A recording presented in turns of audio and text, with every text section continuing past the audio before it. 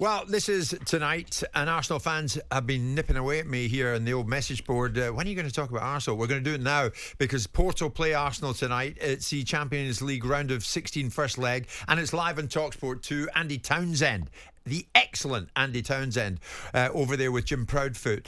Um, Simon, Darren Bent uh, speaking on Talksport was interesting about this. And if it came to winning the Champions League or Arsenal winning the Premier League, Darren let us know where he stood a lot of football fans always say that Arsenal, they, yeah, they know that they're a big club, but because you you always go in your history, you got one European trophy. Yeah, which is right. You haven't. Win the Champions League. Th- there's no argument anymore about anything. Champions League. Come on now, you need to you need to tick that box. So Manchester City win Premier League every year. What's the one thing people say I know, to them? but I'm talking about Arsenal, who fell off a cliff last year. Yeah. You've got two of the greatest sides ever in the Premier League in Liverpool, Yeah. Man City, and Champions you could beat them to Yep. win the Premier League. You'd rather you'd rather beat. Real Madrid in the final. Or it might not be. yeah, I Would would. We need, Arsenal need that. Arsenal, a Okay. big club without the Champions League. Come on. What would it tell us, Simon, uh, if Arsenal under Mikel Arteta can actually do this and win the Champions League, something they failed to do in 2006 against Barcelona and Paris? I watched them that night under Wenger. But what would it tell us under Arteta if they can lift this thing? it would tell us they can compete in a tournament that has 13 or 17 games involved in winning a cup competition. Um, it would tell us what it told us about Chelsea when Thomas Tuchel won the Champions League with Chelsea. I would think Arsenal, whilst wanting to be very competitive in the Champions League and will win whatever in front of them, if I'm an Arsenal fan, I want to win the Premier League.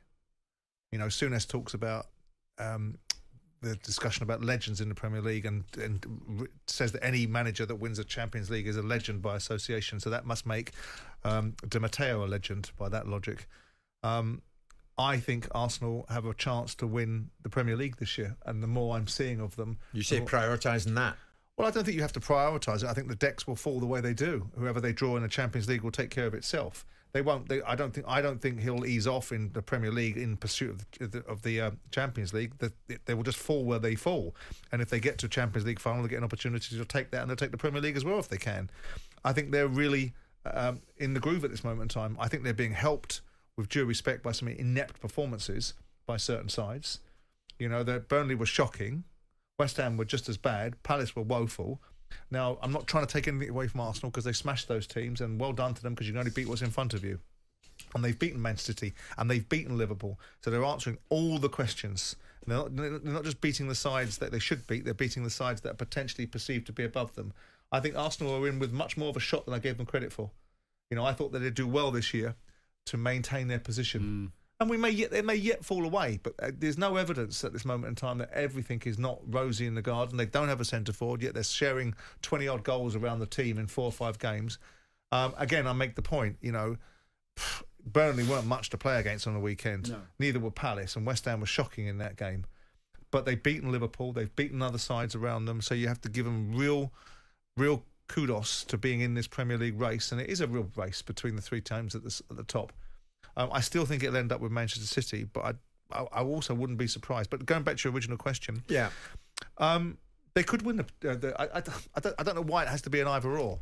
You know, I don't know. I, w- I wouldn't get into. I'm not an Arsenal fan, so I'm not going to get into the motivation of Well- what does it. What, which one do you rather have? Well, The we always have that- these conversations, don't we? I mean, it, if if the difference with the Champions League, although you're talking more games in the Premier League, Arsenal have won the league before. In 50 years and 100 years, when people, 70 years, when people are looking back, they'll look at different teams that have won the league for Arsenal. If you're a player and you win the Champions League for the first time at a club, they're only looking back at you. Arsenal won the Champions League that year. That's that group, it. That group of players. That group. He scored the winner in the final. He scored the, you know, Yeah. he, he did, he saved the penalty. He did this. Everything, the memories of the Champions League win will be greater than the memory of the league win. As a fan, it depends on what generation fan. A lot of these Arsenal fans who are more Simon's age and my age, or sorry, Simon's age, have probably seen Arsenal win many titles. Yeah. I'm joking, but you know, older fan, older fans will have seen Arsenal win Yes. title after title after title. Invincibles but they, have, or whatever, they haven't seen them win the Champions League. So I think it'll be a mixed bag in that one.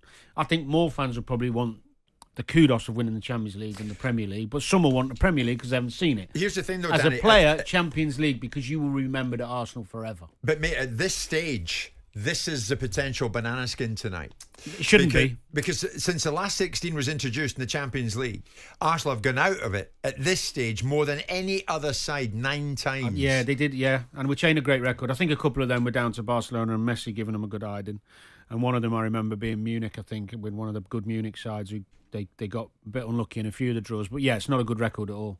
But this Arsenal side, I mean, I won't repeat what Simon's saying because I, I agree with a lot of what he said, are more than capable over two games, especially of beating Porto. Porto are third in the league. They haven't got the superstars they once had. They've got some talented younger players, but they're not. They're not. A, they're not a threat to Arsenal. If Arsenal are bang at it, Yeah. I mean- if Arsenal are bang at it, they over two a one-off game. Yeah, of course. If you're playing Porto away in a one-off, anything can happen. But two games, Arsenal will come through. see, I was there on the night, Simon, and, and I identify with what uh, Danny is saying on the night in Paris, and they had Henry, and and they had Sol Campbell, and they had a great team, and and they almost did it. Sol Campbell put them ahead, and if Lehmann gets sent off, that would be the group of players Arsenal could always say those were the boys that lifted the Champions League. Yeah. And these could be the ones, Declan and Odegaard and the rest. This could be it. And I kind of side with that. The Champions League, yeah. Premier League, sure, they're in they're in the hunt. Mm. And long long may they stay in the hunt. But if they can win the Champions, I think they'll League, go. All, my I think they'll go all out for both. So I, I So think, do I. Yeah, I don't. yeah. I don't think there'll be any priority. So do I. No, you could yeah. argue there should be, but you can't in football. You, you, these opportunities don't come along. The, the, the, the lesser powers in in Europe at the moment aren't. Uh, sorry, the, the so-called bigger powers aren't playing great at the moment. More immediately, do they eliminate Porto? Absolutely, I'd be gobsmacked if they didn't go through over two games against Porto. Jim White and Simon Jordan. Monday to Friday mornings from 10 on AM, on DAB, via the Talksport app, and on your smart speaker. Talksport.